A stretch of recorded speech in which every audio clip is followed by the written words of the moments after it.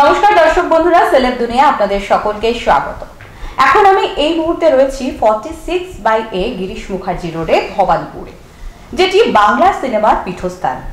মহানায়ক উত্তম কুমারের বাসভবনে আমি রয়েছি এবং আজকে আমাদের সেলেব দুনিয়ার অতিথি হচ্ছেন মহানায়কের নাতি গৌরব চট্টোপাধ্যায়।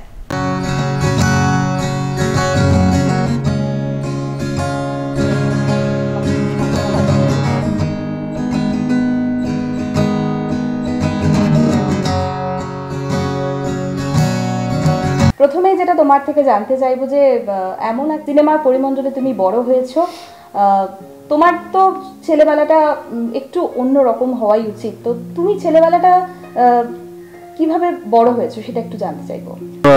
হ্যাঁ আহ, অভিনয়ের তো একটা ইয়ে ছিলই মানে কারণ দাদুকে আমি একেবারেই পাইনি। তাও তো। এইটিতে মারা যান। আমি এইটি ফাইভে হই। তো দাদুর গল্প বলতে একেবারেই মানুষজনের কাছে এখন ইনফ্যাক্ট ইন্ডাস্ট্রিতে গেলে কিছু কিছু পুরনো লোক আছে, পুরনো টেকনিশিয়ানস আছে মেকআপ আর্টিস্ট ছিলেন তারা একজন তো মারা গেলেন দেবিদা বলে। তো এখন আমি তাদের কাছে ইনফ্যাক্ট গল্প শুনি। তবে ছোট দাদুকে মানে তরুণ কুমারকে পেয়েছি, ছোট দিদিমাকে পেয়েছি সুব্রতা চ্যাটার্জিকে। তো তাদের কাছেই গল্প শুনেছি এবং তখনকার ইন্ডাস্ট্রির কিছু কিছু গল্প শুনতাম। আর গল্প শোনার থেকে বড় কথা তারা নিজেরা এত হিউমারাস ছিল তাদের এমনি তাদের সাথে কথা বলেই ভালো লাগতো আর কি। এবং একটা নাটক হয়েছিল যেটা আমরা করেছিলাম আর কি। তো সেখানে ছোদ্দাদু ডিরেকশন দিয়েছিলেন এবং উত্তম মঞ্চে হয়েছিল সেই সময়। তখন আমি ক্লাস সিক্স সিক্সে পড়ি এরকম হবে। তো সেই সময় করেছিলাম। তো সেই সব কিছু মানে এক্সপিরিয়েন্স আছে ছোটবেলায়। তো সেরকমই but it it was a very normal মানে মিডল ক্লাস ফ্যামিলি জীবন যেরকম হয় সেভাবেই বড় হয়েছি। তোমার পড়াশোনা কোথা থেকে শুরু হয়েছিল? আমি এখানে প্রথমে কিন্ডার গার্ডেনে বিহাইভ বলে একটা স্কুল ছিল এলগিন রোডে যেটা এখন নেই। বাবা রোজ ছাড়তে যেতেন আর আমি প্রচণ্ড চেঁচামেচি করতাম। তো সেইটা তারপরে আমি সাউথ পয়েন্ট পড়েছি অনেক বছর। তারপর সেন্ট পলস দার্জিলিংয়ে গিয়ে কারণ বাবা ওখানে পড়তেন আর কি সেন্ট পলসে। তো আমরা প্রত্যেক বছর এমনি সেন্ট পলস ভিজিট করতাম। তো স্কুলটা এত ভালো দেখতে, আমি বাবাকে বললাম আমি পড়ব। তো বাবা ভেবেছিল এর দ্বারা হবে না। তো বাবা একটা, ঠিক আছে অ্যাডমিশন টেস্ট একটা বসিয়ে, তো আমাদের ফ্যামিলির একটা ঘোরা হয়ে যাবে। সেই ভেবে আর কি বসিয়েছিলেন। কিন্তু তারপরে দেখা যায় যে মানে আমি ওয়াজ শর্ট লিস্টেড হ্যাঁ। তো হয়ে তারপরে ওয়েন টু সেন্ট পলস তো ক্লাস টেন পাস করে আমি আবার এখানে চলে আসি এখানে লামার্টিয়ানে পড়ি। তুমি কি অভিনেতা হতে চেয়েছিলে? না অভিনয়টা অ্যাকচুয়ালি পুরোপুরি হয়ে গেছে। আমি তো মানে ইনফ্যাক্ট আমি তো স্কুল লাইফেই অভিনয় মানে প্রথম ছবিতে কাজ করি। তখন ক্লাস টুয়েলভ জাস্ট দিয়েছি মানে ফার্স্ট ইয়ারে উঠিনি। তো তখন তরুণ মজুমদারের ঘর থেকে ফোন আসেন এবং উনি বোধহয় ফোন করেছিলেন মাকে। তো উনি বলেন যে একবার দেখতে চাই। তো আমি যাই এবং ছবিটার, ছবির কথা হয় এবং সেভাবে I got into it মানে মানে I didn't choose the career the career chose me তো সেইভাবে আমি তখন অভিনয় করব এরকমও কিছু ভাবিনি। তো হঠাৎ করেই, যা হয় ক্লাস ইলেভেন টুয়েলভে তো কেউ, সবাই আমরা ক্লুলেস থাকি। তো উনি ডাকেন এবং দেখে টেখে ছবিটা হয়ে যায় এবং এবং তারপরেও আমি জানি পড়াশোনা করছি, আমার এখন কাজ করার দরকার নেই আর কি, এরকম একটা বিষয়। তো কুড়ি তিরিশ টাকা হাত খরচা পাই দিনে এটাই যথেষ্ট আর কি। মানে আম হ্যাপি তো তারপরে ওই করতে করতে যখন ফার্স্ট ইয়ারে উঠি তারপরে দুর্গা প্রথম একটা তার- আগে একটা রাজা সেনে একটা ছবিতে কাজ করেছিলাম। ভালোবাসার অনেক নাম হ্যাঁ ওই ছবিটা হয়। হ্যাঁ টু থাউজেন্ড সিক্সে ওই সিনেমাটার রেসপন্স কীরকম পেয়েছিলে রেসপন্সটা ভালো ছিল না একেবারেই থিয়েটারে কিন্তু টেলিভিশনে যখন জিতে পড়ে নেয় এবং সানডে করে দেখা তো মনে আছে, তখন খুব ইনফ্যাক্ট আমি বাড়িতে ঢুকতে মানে এরকম শুনতে পেলাম, দুপুরবেলা একদিন দিয়েছিল, লোকের বাড়ি বাড়ি হচ্ছে এবং আমার ছবির গান হচ্ছে। টেলিভিশনে খুব ভালো রেসপন্স ছিল। তো তারপরে টুকটাক একটা দুটো কাজ করেছিলাম। রাজা সেনের একটা ছবিতে একটা খুবই ছোট ক্যারেক্টার করেছিলাম। তারপরে তারপরে টেলিভিশনে দুর্গার একটা ব্রেক হয় টু দুর্গার পর রানী রাসমণির মধুরবাবুর চরিত্রে আজকে যেভাবে তুমি সারা ফেলেছো এর জন্য তুমি নিজেকে ঠিক কীভাবে মোটিভেট করলে? সত্যি কথা বলতে কি তখন পুরনো এক আইকনিক ক্যারেক্টার করতে পারাটাই মানে যদি কেউ সেই সুযোগটা পায় সেটাই অনেক বড়। তো সেটা যখন প্রথমে আমাকে বলে তখন আমি কিছু ভাবি না আমি প্রথমেই হ্যাঁ করে দিয়েছিলাম এবং তখনও রানী রাসমণি একদম টপে একটা সিরিয়াল টপ টিআরপি যখন আসে আমি তখনই হ্যাঁ করে দিই কিন্তু তখন আমি একটা ট্রেকে যাচ্ছি। ট্রেকিং করো হ্যাঁ ট্রেকিং করি। ট্রেকিং করে কোথায় আমি লাস্ট গেছি নেপাল থেকে যেতে হয় অন্নপূর্ণা মাউন্ট অন্নপূর্ণা সার্কিট যেটা সেইটা করেছি বন্ধুদের সাথে। তো সেইটা করে তারপরে আর কি এসে আমি এই কাজে কাজটা শুরু হয় আর কি। হ্যাঁ ট্রেকিংটা আমি প্রত্যেক বছর করার চেষ্টা করি। আমি আমার বন্ধু আমার বন্ধুরা বলতে যারা সেন্ট পলসে আমার সাথে ছিল আমার ব্যাচমেট যারা। তো কারণ সবাই বিভিন্ন জায়গা থেকে কেউ নেপালে থাকে ভুটানে থাকে। প্রত্যেক বছর একটা রিউনিয়ন আমাদের হয়। তো এক- একবার যেমন এখান থেকে আমরা ড্রাইভ করে ভুটান গেছিলাম। তো তিনটে গাড়ি ছিল আমরা ড্রাইভ করে পারমিশন নিয়ে ওখান থেকে তারপরে একদম ইয়েতে পারো অবধি গেছিলাম, তারপরে আবার গাড়ি চালিয়ে ব্যাক তো সে প্রত্যেক বছরই আমরা একটা করে করি। ট্রেকিংটা আমরা দু তিনটে জায়গা মানে এখান থেকেও করেছি। ইনফ্যাক্ট সিকিম থেকে একটা খুব ভালো ট্রেক আছে গোশালা ট্রেক একটু টাফ কিন্তু খুব ভালো। তো সেটা করলে খুব রিফ্রেশ লাগে। আর এইসব এত আমরা একটা কংক্রিট জঙ্গলে থাকি, ওখান থেকে বেরিয়ে যেতে মানে খুবই ভালো। তো তারপর বলো রানী লক্ষ্মণীর সেই সময় হ্যাঁ তো তারপরে আমি করা শুরু করি এবং আমাকে যেভাবে ব্রিফিং দেওয়া হয়েছিল সেই থেকে আমি নিজের মতো করি চরিত্রটা মানে শুনতে শুনতে একটা হয় না যে আমরা একটা একটা উইগেড ভিশন তো ওই ভিশনটা পেয়ে আমার আমার যে কোনো চরিত্রই শুনে একটা যে ভিশন তৈরি হয় তা আমি সেভাবেই করি। তারপরে এবার অবশ্যই ডিরেক্টর তো আছেন তারপরে অনেক হেল্প করেন এবং চরিত্রটাকে অনেক ডিমেনশন দেন। যেমন রাজেন্দা অনেক সেই হেল্পটা করেছে এবং খুবই ভালো পরিচালক। তো সেটা করতে করতে তারপরে অবভিয়াসলি মানুষের খুব ভালো লাগে এবং মানুষ অ্যাকসেপ্ট করে। সেটা আমার পক্ষে সত্যি সৌভাগ্যের। রানী রাসমণি চরিত্র করার সময় বিশেষ কোনো স্মৃতি আছে? যে স্মৃতিটা খুব ইন্টারেস্টিং আছে তোমার কাছে? হ্যাঁ মানে আসলে এটা যেহেতু এটা পিরিয়ডিক গল্প এবং অনেকগুলো স্টেজ দেখানো হয়েছে, অনেক রকম বয়স দেখানো হয়েছে সবার, তো সেই জায়গায় দাঁড়িয়ে প্রচুর ক্যারেক্টার্স মারা গেছে। সেটা কিছু করার নেই, যেমন আমার বাবা মশাই নূর যে চরিত্রটা করতো, সে মারা যায় একটা টাইমে কারণ রিয়েল চরিত্র মনে হয় রাজচন্দ্র মারা যায় fifty many was fifty two R fifty four এরকম একটা বয়সে। তারপরে আমার আরেক জামাই যে ছিল মানে যে আমার আগে মেজো জামাই, সে মারা যায় এবং মেজো জামাই যে বউ করতো সেও মারা যায়। যেহেতু চরিত্রগুলো মারা যায়, সেটা কিছু করার নেই। কিন্তু তাদের সাথে একটা হয় না, একটা বন্ডিং তৈরি হয়। তো যে বন্ডিংটা সবার সাথেই তৈরি হয় এবং কাউকে কাউকে কিছু করার থাকে না। মানে তাদের চরিত্র মারা গেছে, যেহেতু যেহেতু এটা পিরিয়ডিক একটা হিস্টোরিক ব্যাপার। তো সেইগুলো একটু খারাপ লাগে, কিন্তু সবসময় এটা খুব মজার। এবং যারা যারা আছে, সবাই ভীষণ ছোট। মানে আমার থেকেই তারা বেশিরভাগ সবাই ছোট। তো সেই জায়গায় দাঁড়িয়ে খুবই ভালো লাগে এবং নিজেকে অনেকটা নিজের চাইল্ডহুডের সাথে নিজেকে খুঁজে পাই আর কি কারণ তাদের সাথে কথা বললে এই সময়গুলো মনে পড়ে। দিতিপ্রিয়ার সাথে যখন অভিনয় করছ মানে তোমার যে চরিত্র সেখানে দিতিপ্রিয়ার থেকে সম্মানে তুমি ওর থেকে ছোট অথচ বয়স তো তুমি হিসাবে দিতিপ্রিয়া থেকে অনেকটাই বড়। তো এটাকে ম্যানেজ করছ কীভাবে? অ্যাকচুয়ালি দিদিপ্রিয়া আমার দুর্গাতে ছিল আহ, তো একটা ছোট দুর্গার একটা পার্ট ও করেছিল। তখন থেকেই ওকে চিনি মানে একদম এইটুকুনি বয়সে টিপফ্রক পরে আসতো তো এখন এত ভালো কাজ করছে এবং ফেমটা তো পরের কথা কিন্তু এতটা কাজটাও শিখে গেছে সেই জায়গায় দাঁড়িয়ে ভীষণ প্রাউড ফিলিং হয়। মানে একে আমি দেখেছিলাম একদম ছোট মায়ের হাত ধরে আসতো চোখটা এরকম বন্ধ হয়ে বলা হতো শুয়ে পড়ো আমার কোলে শুয়ে পড়তো চোখ বন্ধ করে। যা বলা হতো তাই করতো। সেইখান থেকে আজকে এত Mature. ম্যাচিওর এবং অতটা সাহস নিয়ে অভিনয় করে যাচ্ছে প্রত্যেকটা দিন সেটা দেখে খুবই প্রাউড ফিল হয়। একটু অন্য প্রশ্নে আসছি সেটা হচ্ছে মহানায়কের নাতি এই হিসাবে যখন তোমার সাথে তো একটা আলাদা ওজন রয়েছে মানে আলাদা মাত্রা ক্যারি করো যখন সিনেমার অভিনয় জগতে তুমি পা রাখছ মানুষের তো তোমার কাছে প্রত্যাশাটা একটু অন্যরকম থাকে। কিন্তু আমরা এটাও জানি যে প্রত্যেকটা মানুষ তার নিজস্ব ট্যালেন্ট নিজস্ব কোয়ালিটি নিয়ে জন্মায়। তো এই যে যখন তুমি সিনেমা জগতে প্রবেশ করছ এবং পাশাপাশি মহানায়কের নাতি হিসেবে যখন প্রবেশ করছ সেই জায়গাটাকে তুমি মানে তুমি কীভাবে সেটাকে ব্যালেন্স করেছিলে? আমার আসলে অনেকে আমাকে এই প্রশ্নটা অ্যাকচুয়ালি অনেকবার করেছি যে কোনো রকম প্রেশার আমি না সামহাও মানে শুনে আমার মনে হয় হয়তো কোনো প্রেশার থাকা উচিত, কিন্তু আমি সামহাও কোনো দিন কোনো প্রেশার ফিল করিনি।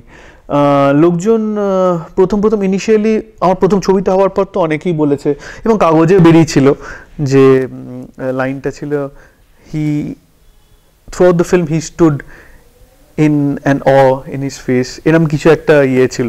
তো উইচ ইজ ট্রু তো কিন্তু আমার সামাও কোনোদিন কোনো অ্যাডেড প্রেশার ফিল হয়নি। আমি শুধু কাজটাকে মন দিয়ে করার চেষ্টা করেছি।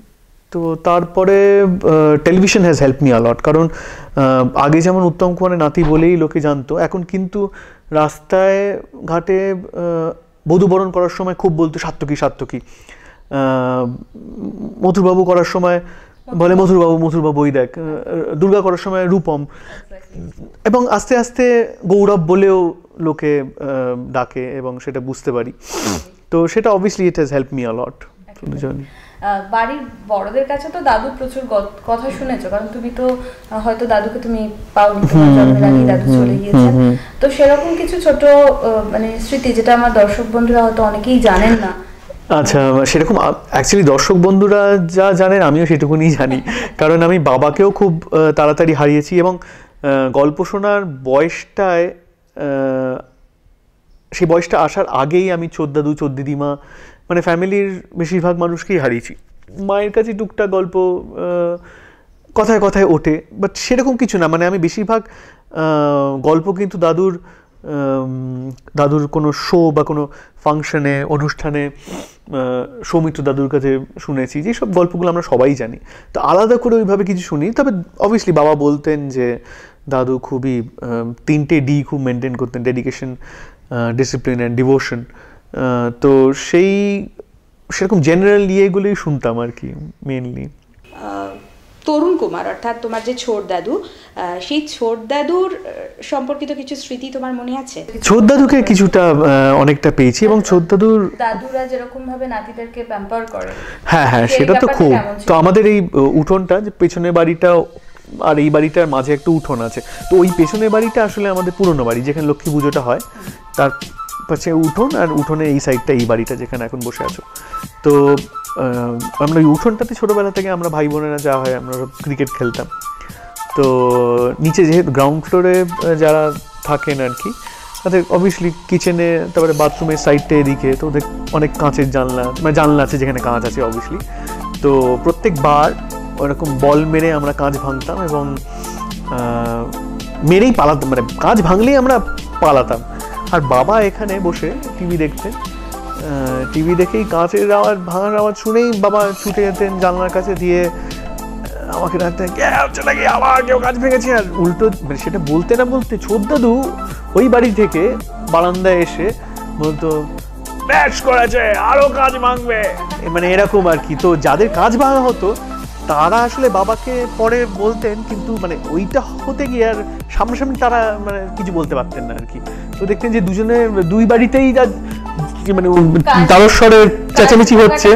হ্যাঁ মানে হ্যাঁ হ্যাঁ। তারা আর কিছু হ্যাঁ তারা আর কিছু বলতে পারতেন। তো তখন নির্ভয় বাড়ি হ্যাঁ হ্যাঁ হ্যাঁ নির্ভয় না তারপরে কারণ আসতে হতো তো বাবার কাছেই। সেটাতে একটু ভয় থাকতো কিন্তু মানে হ্যাঁ তখন at least use to save me তোমাদের তো এত সুন্দর একটা বনেদি বাড়ি এবং এখনও তো লক্ষ্মী পুজো হয়। লক্ষ্মী পুজোটাকে তোমরা সেই আগের মতোই মেনটেন করে যাওয়ার চেষ্টা করছ তোমরা যখন এখন হও সব ভাই এক হও তো তখন তোমরা লক্ষ্মী পুজোটা যখন সেলিব্রেট করো ছোটবেলার যে সেলিব্রেশনটা হতো তার সাথে এখনকার যে সেলিব্রেশন দুটোর মধ্যে কোনো ফারাক হ্যাঁ একেবারেই আছে। কারণ তার কারণ হচ্ছে যে আমরা পুজোটা ঠাকুর একই জায়গা থেকে তৈরি হয় এবং খাওয়া দাওয়াও মোটামুটি একই রকম হয় এবং একই জায়গা হয়। সবই মোটামুটি কাছাকাছি হলে অনেকটা ডিফারেন্স তো আছেই। কারণ আগে তো আমাকে পুজোয় বসতে হতো না। চোদ্দাদু ছিলেন চোদ্দিদিমাও বসতেন বাবা বসতেন। এখন তারা কেউ নেই, তো আমাকে অনেকটা পুজোয় থাকতে হয় এবং আগে তত রেসপন্সিবিলিটি ছিল না, তো আগে আমাদের ইয়ে হতো, ধোকার ডালনা হতো অনেক সময়। তো আমার অতটা কোনোদিন ভালো লাগেনি, আমার দাদা ভাইয়ের খুব ধোকার ডালনা ভালো লাগে, তো ও তো চ খেয়ে আসি। মানে ডিনারের মানে লোকে খাবে, তার আগে আমরা লুকিয়ে লুকিয়ে খাব। তো সেই সেই মজাগুলো ছিল যেগুলো আর এখন অতটা হয় না। তবে আমার দেখা ছোটোবেলায় অনেককেই যেমন রবি ঘোষ এসেছিলেন তো আমার মনে আছে আমি ওনাকে দেখে হেসে ফেলেছিলাম। কারণ তার আগে আগে আমি গুপি গান বাগাবাইন দেখেছিলাম। তো আমি জানতাম না উনি এত সিরিয়াস আমার ধারণা ছিল মানুষ যেরকম ক্যামেরার সামনে যে যেটা করছে মানুষটা ওরকমই। তো উনি আমি দেখে পিক করে হেসে ফেলেছিলাম। এই হাসছো কেন? না, একদম ছোট। ওই থ্রি ফোর পড়ি এরকম আর কি খুবই ছোট। হ্যাঁ তো এ কি হাসছো কেন? তো না, তোমার গুপি গান মানে আমি কি হাসার জিনিস নাকি? এরকম একটা কিছু বই আর চলে গেছিলেন। তো আমি যে বাবা, কি অদ্ভুত, এরকম এতটা সিরিয়াস মানুষ। হ্যাঁ মানে ওইটার সাথে রিলেট করতে পারে। ছোটবেলায় যা হয় আর কি। এবার একটু অন্য প্রসঙ্গে আসি। মানে তুমি তো রানী রাসমণির মথুরবাবুর চরিত্র যে জায়গায় নিয়ে গেছো তো দর্শকের প্রত্যাশা তো ক্রমশ তোমার প্রতি বাড়ছে। এবং গৌরব চট্টোপাধ্যায় কি আগামী দিনে পরিচালনার কাজে কোনোভাবে যুক্ত হতে পারে হ্যাঁ এইটা আমার খুব ইচ্ছে ছিল একটা সময় যে আমি আমি ডিরেক্ট করব ছবি বানাবো। সেই ইচ্ছেটা যে এখনও নেই তা নয়। কিন্তু আমার ধারণা আমি যদি কোনোদিন ডিরেক্ট করি তাহলে সেটা আমার গল্প হতে হবে। মানে কারণ আমি তো স্টোরি টেলার তো আমার বিশ্বাস যে ডিরেক্টর হলে সে নিজের স্টোরি হলে সব থেকে ভালো he can be a storyteller he or তো সেই জায়গায় দাঁড়িয়ে আমার গল্প সবসময় মাথায় আসে না তা নয় আসে। কিন্তু খুব বিটস অ্যান্ড পিসেসে তো আমার মনে হয় যে দিনকে যে বয়সে আমি হয়তো ওই বিটস অ্যান্ড পিসেসগুলোকে অ্যাড আপ করতে পারব সেই দিনকে আমি হয়তো একটা স্টোরি টেলার হতে পারব সেই দিন আমি ট্রাই করব। কিন্তু এখনও অবধি পুরো ভিশনটা আমার পুরোপুরি আসছে না। তোমার তো জানি আমরা অবসরটা খুব কম কারণ তুমি যেভাবে টাইট শিডিউলের মধ্যে সবসময় থাকো তোমার অবসর বলে আমরা জানি সেভাবে কিছু নেই. যদি অবসর পাও সেটাকে কীভাবে কাটাও? ওয়েল একটু ফ্রি সময়, যেমন আমি চেষ্টা করি রোববার দিন একটু ফ্রি রাখার বা একটা টাইমের পর শুটিং না করার। কারণ তারপরে, তাছাড়া বেসিক্যালি বাড়িরও কিছু কাজ থাকে। কারণ সারা সপ্তাহে আমি সকাল থেকে রাত অব্দি মানে বাড়ি ফিরি দশটা, সাড়ে দশটার পর। ইনফ্যাক্ট সাড়ে দশটার পর। তো সারাদিন তো সময় হয় না। তো ওই কিছু কিছু কাজ থাকে। তারপরে সেগুলো হয়ে গেলে তখন বন্ধু বান্ধব বা দেবরিনার সাথে কোথাও গেলাম খেতে বা কিছু তো সেইভাবেই কাটাতে চাই। মেনলি সকালবেলা দেরি করে উঠতে চাই আর কি। যাব মানে প্রেম নিয়ে তো তোমাকে আমি কিছু জিজ্ঞাসা করিনি তো এবার একটু প্রেম নিয়ে তোমার কাছে যাব। মানে প্রেমটা ঠিক তোমার জীবনে কবে এসেছিল? প্রেম তো জীবনে আসতেই থাকে মানে অনেক বছরই এসেছিল? প্রথম প্রেম এসেছিল কিন্ডার গার্ডেনে হ্যাঁ তো আমাদের বাড়ির উল্টো দিকে। হ্যাঁ হ্যাঁ। এটা পসিবল হ্যাঁ আমার মনে হয়।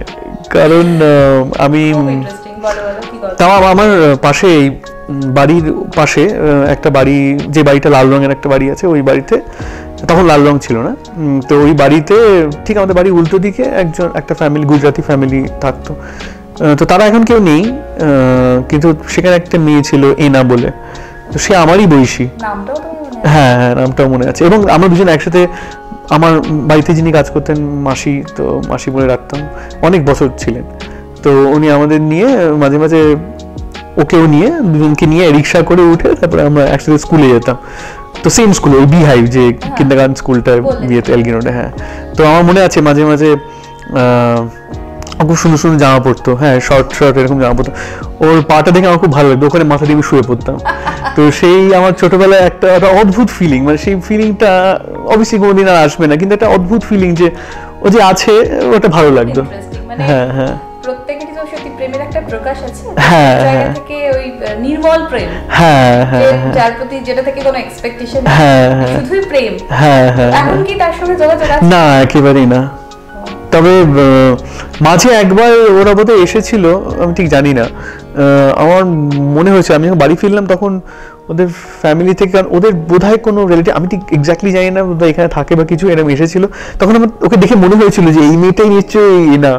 তো এরকম না তো দেন অবশ্যই থিংস চেঞ্জ না না না না, তো অসম্ভব হবে তারপরে তো অনেকবার প্রেম এসছে। হ্যাঁ, হ্যাঁ, হ্যাঁ, হ্যাঁ। তুমি এতটা সুন্দর একজন মানুষ এবং এতটা ব্যক্তিত্ব সম্পন্ন তোমার প্রেম আসবে এটাই খুব তো এখন যে বর্তমান তোমার প্রেম এবং সে নিয়ে যে টলিপাড়ায় যে গুঞ্জন চলছে একটা সুখবর পাচ্ছি। সেই সুখবরটা আমরা কবে পাবো? আমি নিজেই তার অপেক্ষায় আছি। সেই সুখবর সুখবর কবে পাবো? কিন্তু সেরকম আহ, দিনক্ষণ কিছু ঠিক নেই। তবে উম, তবে হ্যাঁ সেটা আশা রাখছি যে খুব তাড়াতাড়ি আমরা হোপফুলি হ্যাঁ হ্যাঁ হ্যাঁ। একটু দেবলীনার সম্পর্কে জানতে চাইব যে দেবলীনার সঙ্গে আলাপটা তোমার কীভাবে হয়েছে অ্যাকচুয়ালি ও ওর সাথে আমার দিদি বোনেদের খুব বন্ধুত্ব। হ্যাঁ সেটা অনেকদিন আগে থেকেই। এবং আমি তো একেবারেই চিনতাম না। তো ফার্স্ট হয় ভাস্বরদা একটা মহালয়া একটা শো করেছিল মহালয়ার ঠিক আগেই মহালয়া নিয়ে। তো সেইখানে আমি রামের চরিত্র করেছিলাম। তো সেইখানে ও ছিল নাচের একটা পোর্শনে ছিল মা দুর্গার বিভিন্ন রূপ এবং ও একটা রূপে। তখন আমি প্রথম দেখেছিলাম। আচ্ছা। তো আমার দেখে ভালো লেগেছিল বেশ লম্বা ছিপছিপে একটু হালকা টেরা। তো তো তারপরে আর কিছু হয়নি। হ্যাঁ হ্যাঁ ও আমি ওর সামনেই বলি। তো এরকম তো দেখেছিলাম এমনি ভালো লেগেছে যা হয় একটা সুন্দর চেহারা একটা মেয়ে। তো তারপরে হ্যাঁ হ্যাঁ হ্যাঁ। খুব ভালো ডান্স করে এবং আমার সঙ্গে নেচেছিল এবং খুব সিরিয়াসলি নাচছিল এবং ওর নাচ তো খুবই ভালো। তো সেটা যেটা সব যেরকম দেখে কাউকে আর ভালো লাগে ওইটুকু নিয়েছিল। তারপরে কোনোদিন দেখা সাক্ষাৎ কিছুই হয়নি। তারপরে হয়েছিল ও বাড়িতে লক্ষ্মী পুজোয় এসেছিল এবং আসতো প্রত্যেক বছর কিন্তু খুব রাত করে। ও বাবা মা এবং অনেক রাত করে মানে বারোটা আর আমার কি আমি সারাদিন খুব টায়ার্ড থাকি তো এগারোটা মানে খা- খা- খা- খেতে খেতে এগারোটা সাড়ে এগারোটা হয়ে যায়, বারোটা বারোটা নাগাদ আমি নিজে, আর ও আসেই বারোটা নাগাদ। তো এক বছর হয়েছিল যে আমাদের আরও দেরি হয়েছিল, তো আমরা বারোটায় খাওয়া দাওয়া করছি, তখন দিদির ফোন এলো যে, এই দেবলিনা এসছে। তো বাবা মাকে নিয়ে এসেছিল, একজন বন্ধুকে নিয়ে এসেছিল। তো আমি তখন নিচে নামার সময় তখন দেখা হয়। তো দেখা হতে তখন কথা হয় আর কি। তো কথা হয়ে আমার বেশ ভালো লেগেছিল, কারণ খুব ও খুব এমনি হাসি খুশি তো, আমার পজিটিভ ভাইব যারা দেয় আমার এমনি খুব ভালো লাগে, তো খুব হাসি খুশি। তো তারপরে একটা ইয়েতে মনে আছে, আমাদের বাড়িতে একটা পার্টি হয়েছিল, যেখানে দিদি, বোন আমাদের সব কমন ফ্রেন্ডস মানে ফ্যামিলি ফ্রেন্ডস কমন ফ্রেন্ডস যারা ছিল। তো সেখানে আমি বলেছিলাম, ওকে ডাকো। তোমার ডাকতেই পারো এরকম আর কি। তো তখন ও এসেছিল কিছুক্ষণের জন্য। তো তারপরে আস্তে আস্তে ফেসবুকে মেসেজ যাওয়া হয় আর কি। তারপর এখন তো সেই সম্পর্কটা একদম ম্যাচুরিটির দিকে যাচ্ছে। হুম হুম হুম। খুব প্রত্যেকেরই খুব সেই দিনটার অপেক্ষা যে কবে সেই সুখবরটা হ্যাঁ হ্যাঁ। তো এটা তো আমাদের অপেক্ষা করতে হবে বেশি দিন নয়। জীবনে দুজন নারীর কথা তোমার থেকে জানতে চাইব যাদের অবদান তোমার জীবনে সব থেকে বেশি? আহ, মা তো সকলেই বলে মানে সেটা তো আলাদা রেখেই আমি বলছি কারণ জানতে চাইব গৌরবদা। হ্যাঁ। তোমার মায়ের নিয়ে ছোটবেলা থেকে তুমি তো বড় হয়েছো তারপর হ্যাঁ। তুমি বাইরে যাও হ্যাঁ, বাইরে পড়াশোনা হ্যাঁ। তো মাকে কি আমার মা ভীষণ চুপচাপ ভীষণই চুপচাপ মানে আমি চুপচাপ লোকে বলে কিন্তু মা ভীষণই চুপচাপ। তো মা ভীষণ ইন্ট্রোভার্ট তো এবং প্রচণ্ড সিম্পল মানে আমি সেকেলের মানুষ তো একটু সিম্পল হয় কিন্তু আমার মা একটু বড্ড বেশি সিম্পল আর কি। তো এই যে আমি একটা গাড়ি কিনেছি আমি এই গাড়িটা কিনছি। এত বড় গাড়ি? মানে মা অবাক হয়ে যায় যে এখানে সাতজন বসতে আমি চিনা না আজকালকার গাড়িতে পাঁচজন ম্যাক্সিমাম বসে। মানে এরকম সিম্পল আর কি। তো মা তো আমার কিছুটা অবভিয়াসলি ছোটবেলা থেকে মা এক পড়াশোনা মানে মারতেও পারে না। মানে এটা করিসনি অনেক হাতটা তুলে তারপরে আস্তে করে একটা টাচ করা, এরকম আর কি। তো মা ভীষণই সফট কিন্তু মাকে ছাড়া আর কি চলে না সেই সবারই। তো আমি এই এই এই ফ্লোরে শিফট করে গেছি, কিন্তু তাও ছোট ছোট কাজের থ্রু দিয়ে আমরা বুঝতে পারি। মানে মা মেশিন জামাগুলো আছে, ওগুলো সুগন্ধি দিয়ে দেবে তুমি যখন পারবে চলে এসে। হ্যাঁ তো আমার আমি রাতের বেলা এইটা খাব।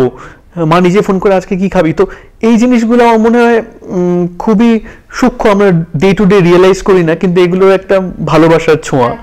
তো সেটা অবভিয়াসলি তো সেইটা আমি যদি ছেড়ে দিই তাহলে আমি বলব আমি তো মেয়েদের নিয়েই বড় হয়েছি এই বাড়িতে। বাবা চলে যাওয়ার পর তো আর পুরুষ বলে কেউ নেই। তো এখানে আমার দিদি আমার বোন আমার স্ট্রেংথ তো মানে আমার প্রত্যেকটা জিনিস আমি যেমন ছোট ছোট জিনিসই বলছি যেমন আমি কোথাও যদি না যেতে পারি তাহলে বা কোনো কাজ আমি করতে পারছি না they make it a point to do it for me তো ওরা মানে ছোট বোন দাদা বলতে পাগল আর দিদি ভাই বলতে পাগল। তো দুজন মেয়ে বলতে তাদেরই বলব। হ্যাঁ আর একজন বললে তো দেবলিনা তো আছে। এরপরে তো ধরো আরেকটা যেটা খুব ইম্পর্টেন্ট প্রশ্ন আমি দেখছি যে তোমার আরেক বন্ধু বসে আছে তোমার সাথে। ও আচ্ছা। তো এই এই যে গিটার বাজানো এই গিটার বাজানোর হবিটা কবে থেকে শুরু হলো? আহ, ঘরে ফেরার গান বলে একটা সিরিয়াল করছিলাম তো সেইখানে একটু একটা মিউজিশিয়ানের চরিত্র। তো যেহেতু মানে ওই বিষয়টা আমার একেবারেই কমফর্ট জোনে নয়। কমফর্ট জোনে হলে কিছু ম্যাটার করে না। কিন্তু কমফর্ট জোনের বাইরে হলে তখন অনেকটা সময় দিতে হয়, তখন একটু বুঝতে হয়। তো তখন আমি গিটার কিনে এবং শিখেছিলাম মানে অল্প বিষয় শিখেছিলাম বলতে দেবাশিস বলে একজন একটু আমায় শিখিয়েছিলেন। মাসখানেক আমি গেছিলাম। তারপর আমি সেলফ টট আর কি মানে ইউটিউব দেখে ইয়ে করে টুকটাক মানে জাস্ট বেসিক কোর্সগুলো কারণ অনেক সময় আমার খুব একদমই ভালো লাগে না যখন আমি টিভিতে দেখি গিটার বাজাচ্ছে, কিন্তু আঙুলের কোনো মানে ফিঙ্গারটা জাস্ট উল্টো পাল্টা হচ্ছে। তো আমি ভাবলাম যে আমি যদি নিজে এরকম কিছু একটা ক্যারেক্টার করি, তাহলে ওটা যাতে একদম অড না লাগে। আমার একদম পারফেক্টলি সেই গানের সাথে সিঙ্ক করে বাজাতে হবে না, কিন্তু এতটা অড যাতে না লাগে। তো ফর দ্যাট আমাকে একটু মানে শিখতে হয়েছিল। তারপরে যা হয় আর কি, তারপর নিজেরই বিষয়টা একটু ভালো লাগল। তো আমি একেবারে লোকজনের সামনে বাজাই না। কারণ আমার ভীষণ লজ্জা আর আমি জানি যে আমি জিনিসটা ভালো নই। কিন্তু হ্যাঁ প্রচণ্ড মানে অ্যাজ অ্যান অ্যাক্টর তো মানে হওয়া উচিত না বোধ হয় সঙ্গে তোমার বোধহয় এই জায়গাটাতে দুজনে হ্যাঁ she makes up for it কারণ আমি নিচে এতটা লাজুক আর কম কথা বলি এতটা কম আউট গোয়িং তো ও যেমন অনেকটা আউট গোয়িং এবং খুব হাসি খুশি এবং মাঝে মাঝে লাউড হ্যাঁ হ্যাঁ হ্যাঁ সবার সাথে হইচই করে। থাকে হ্যাঁ, সবার প্রেম প্রচণ্ড আড্ডা। এই যে আমরা জিম করি মানে ওই টাইমটা আমরা একসাথে থাকি আর কি কারণ অন্য সময় তো হয়ে ওঠে না সব সময় তো জিমে গিয়ে ও যেমন সোজা আমি ওর সাথে কথা বলি না কারণ আমি গিয়ে এক্সারসাইজ করা শুরু করি কারণ আমি জানি আমার হবে না। কারণ ও গিয়ে সবার সাথে আড্ডা মারবে পুরো জিমের সাথে। তো গিয়ে আর আমার একটু তাড়াই থাকে করে টোটে আমি চলে যাই তারপরে ও আড্ডা ফাড্ডা শেষ করে তারপর মানে এরকম আর কি যেটা আমি একেবারেই নই। তো which is good I think ah, আগামী দিনে মানে ফিউচার প্ল্যানিংটা কি? জীবনটাকে কীভাবে সাজাতে চাও? ক্যারিয়ারকে কীভাবে সাজাতে চাও? আমি এখনও অবধি কোনোদিনই কিছু ভাবিনি। তো যেরকম বলছিলাম যে I didn't choose the career the career chose me তো আমি কালকেও কি করব আমি এটা আজ জানি না। তো এইটা করে এতদিন it work fine with me তো হোপফুলি তো সেরকমভাবেই যখন চলে যাচ্ছে তখন আম গুড এবার আমরা একদম শেষ প্রান্তে চলে এসেছি র্যাপিড ফায়ার রাউন্ডে এবং সেখানে তোমাকে কিছু জিজ্ঞাসা করব। তুমি যে কোনো একটাকে চুজ করবে আচ্ছা। ওকে বিরিয়ানি না আলু পোস্ত? বিরিয়ানি। সিরিয়াল না সিনেমা? দুটোই। অভিনেতা গৌরব না মহানায়কের নাতি গৌরব? অবশ্যই অভিনেতা গৌরব। শুটিং এর পর বাড়ি না পার্টি? বাড়ি? ডান্সার দেবলিনা না মানুষ দেবলিনা? মানুষদের বলি না। দুর্গা না রানী রাসমণি? দুটো দুটো আলাদা জায়গায় রানী রাসমণি এখন। ভ্রমণে দেশ না বিদেশ? দুটোই। অসংখ্য ধন্যবাদ গৌরব। আমাদের সঙ্গে এতটা টাইম দেওয়ার জন্য। আপনারা ইমেজ বেঙ্গলে লাইক করুন সাবস্ক্রাইব করুন আর কমেন্ট করুন। আশা করব আপনাদের সামনে আবার আসতে পারব। সো থ্যাংক ইউ ভীষণ ভীষণ ভালো থেকো এবং সুস্থ থেকো। আর সুখবরটা যাতে তাড়াতাড়ি পেয়ে যায়। ততক্ষণের জন্য সকলে ভালো থাকুন নমস্কার।